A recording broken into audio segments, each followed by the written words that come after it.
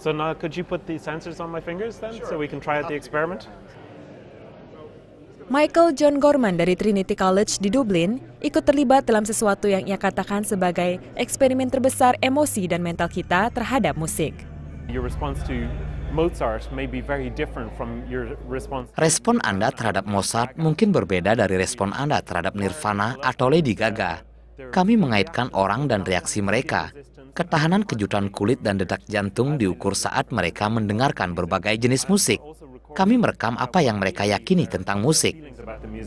Emosi dalam gerakan mengumpulkan data dari ribuan subjek yang merupakan bagian dari pameran audio bernama Bioritme, Musik, dan Tubuh di Chelsea, New York.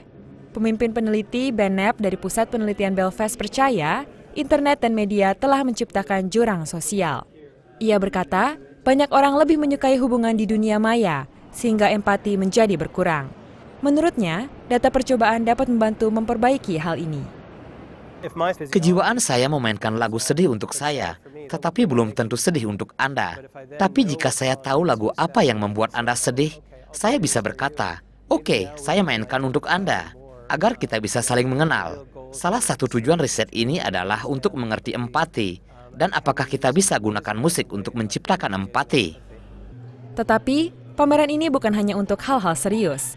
Pengunjung juga dapat berinteraksi dengan reactable, yaitu semacam permainan papan, di mana benda di meja akan dideteksi sensor untuk menciptakan gabungan suara melalui variasi frekuensi dan volume.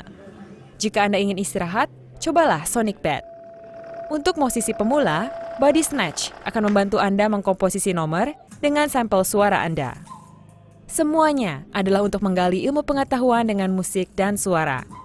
Musik adalah subjek universal, semua orang tertarik pada musik.